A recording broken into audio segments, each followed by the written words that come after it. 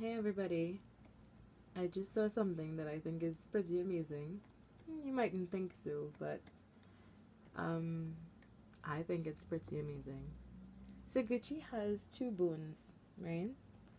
I gave him two bones, these pork skin bones, and he actually knows the difference.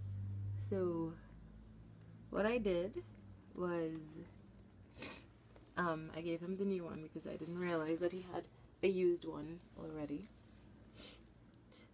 And um, I found it. So I did this. I put the used one there and he couldn't be bothered.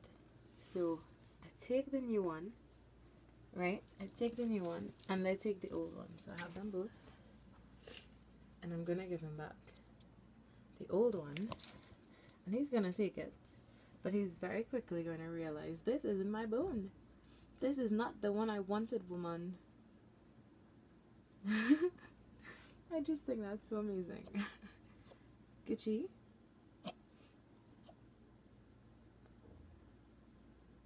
You okay?